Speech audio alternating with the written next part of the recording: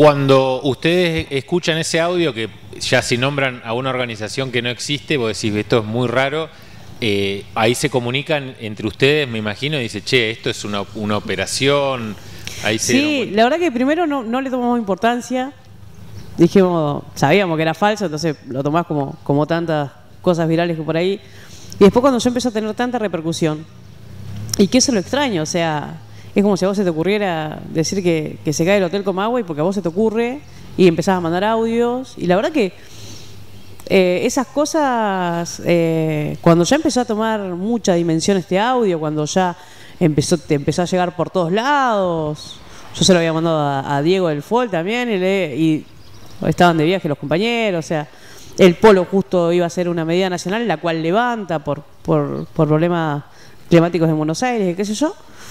Pero decís, o sea, no, no, no, no entendíamos bien por qué, no le habíamos dado mayor importancia, dijimos un audio pero tomó tal repercusión eh, y después empezaron a... O sea, ya el hecho de poner policías en el... En la... Sí, la luz, la luz esa... Em, la luz azul no, genera una historia. Te genera, te genera esto de, ir a la anónima eh, o algún hiper y que te hagan pasar de, a 10 porque tienen miedo. Digo, o sea, la misma, la misma situación te, te genera que al miedo eh, nosotros el otro día habíamos ido a la legislatura por una reunión pautada ya con los legisladores. Íbamos solamente los representantes de las organizaciones sociales, que fue el día jueves, de hecho, a la mañana. Estaba lleno de policías. Pero lleno de policías. De hecho, viene el comisario, se nos acerca. nosotros decimos, venimos nosotros, una reunión pautada que ya había salido. O sea, es fácil eh, preguntarle a la legislatura. Che, vienen ¿Tienen tal reunión? Sí, teníamos, estaba lleno. Y vos decís, claro, y esto te genera pánico, te genera un miedo, a los que vivimos el 2001 te, te recuerda del 2001, eh, las movidas cambiarias, esto, esta especulación que tiene... Y, a los que somos más viejos nos recuerda al 89, claro. que, que cambiaba el precio eh, en el día. Sí, sí, el ir... Empezó todo un, un, que, que, el azúcar en el barrio ya no se conseguía, que estaba en dos mil pesos, que, o sea, y vos decís, eh, te generaba todo, toda una situación bastante, bastante incómoda para las organizaciones sociales porque tampoco ibas a salir a desmentir algo que no era. Eh, de hecho, lo hablábamos, una de las compañeras de comunicación nos dice, che, estaría bueno que usted... Digo, la verdad que a los que nombraban al poli del FOL y lo hablábamos y la verdad que no lo veíamos, no lo veíamos necesario salir a decir, che, esto yo no fui. Eh, no, mira, justo el camión de corona. llegaron los auspicios. te quería. Eh, eh, te preguntaba eso porque la luz azul en el barrio eh, genera.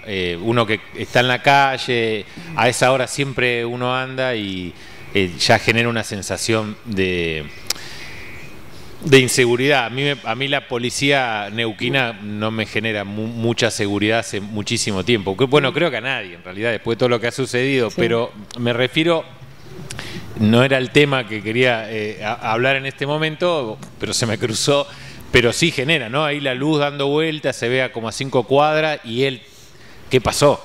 Sí, sí, sí, genera... Y genera, y también esto de, del estigma de que siempre es en los barrios. O sea, ah, para mí, esos, esos audios y, esas cosas no salió de los barrios populares. Para mí salió desde el área centro, para causar un, pánico, un terror después de, de, los resultados de las elecciones y demás, digo. Eh, pero siempre eh, la, la, policía se va, se va a los barrios, ese, ese miedo, ese, eh, de increpar a, los pibes, o sea, pibes que, pueden ir caminando tranquilamente y, con, la aportación de rostro, porque van con una, con una visera y, demás, y ya los enganchan, o piensan que, eh, o los persiguen a, los pibes y a las pibas que, vienen laburando de, albañil, porque están sucios, porque obviamente vienen de laburar. Eh, digo, siempre, siempre recae, siempre que pasa algo, recae en los barrios. Ahora, yo me pregunto, ¿Qué pasaría si las orgas hicieran, este, em, hicieran algo? Eso es lo que me llama la atención de que tan, tan, no sé si tontamente o es adrede, porque el objetivo lo lograron, digamos, de generar pánico quienes hayan buscado eso lo lograron, de eh, cómo increpar a una organización que puede sacar hoy en Neuquén, corregime vos, 4.000, 5.000, 6.000 personas a la calle, de que puede organizar saqueos libremente, digamos, como diciendo, si realmente eso estuviera en nuestros planes, ¿te parece que sería así? Digamos, ¿qué, ¿cuál sería la intención?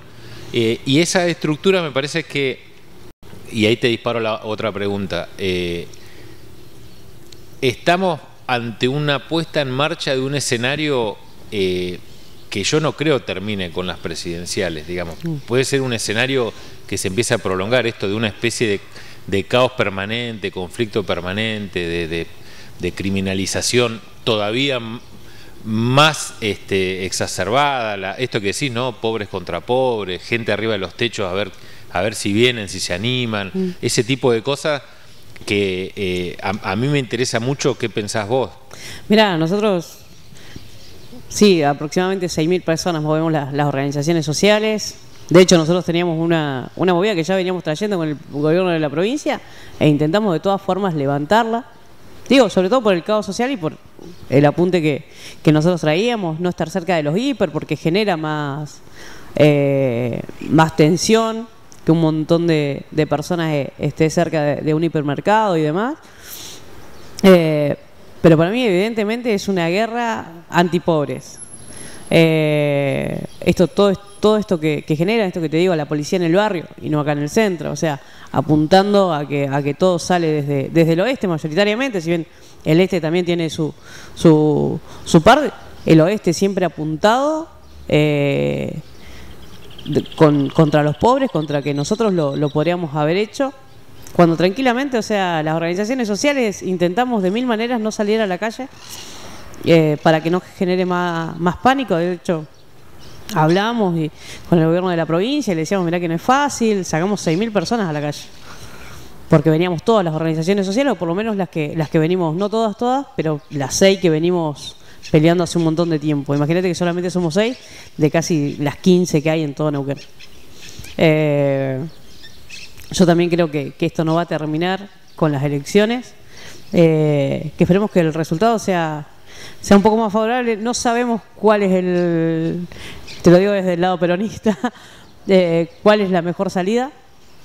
Eh, pero esperemos que sabemos que siempre los que los que nos va a ir mal en un gobierno somos los que los que estamos abajo, o sea, los que siempre quedamos abajo de la mesa creo que la casta política o, los que los que tienen los que tienen guita siempre quedan arriba de la mesa sobre la mesa y nosotros eh, siempre estamos abajo de la mesa esperando las migajas. ¿Por qué en los barrios se votó a la, ultraderecha? ¿Se sabe que es la ultraderecha? Digamos, ¿somos nosotros los que hicimos mal el trabajo de difundir que era la ultraderecha? No sé, me, ah, tengo miles de preguntas, pero ¿por qué en los lugares más humildes este, se vota a, este candidato fascista? Yo creo que, que, se vota, no sé si a la ultraderecha, pero sí se vota a la en contra de la excepción. Yo creo que veníamos eh, los peronistas, las peronistas que, que veníamos con, de recuperar el, gobierno con, con el macrismo.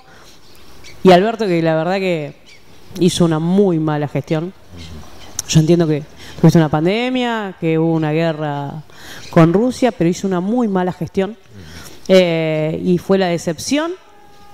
Eh, y creo que la gente eh, no sabe bien lo que es la ultraderecha.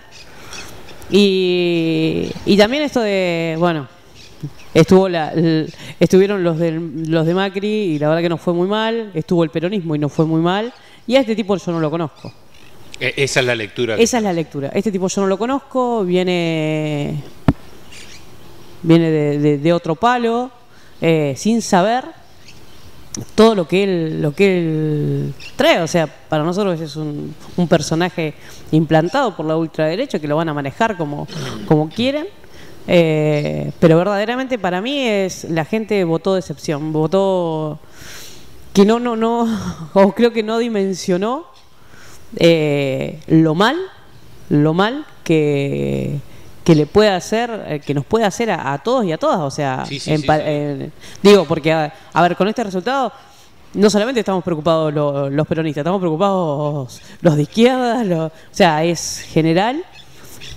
Eh, Así, si él no triunfara, eh, me parece que la, la, la llegada al abismo es casi al borde, digamos. No, no es que esto va a retroceder.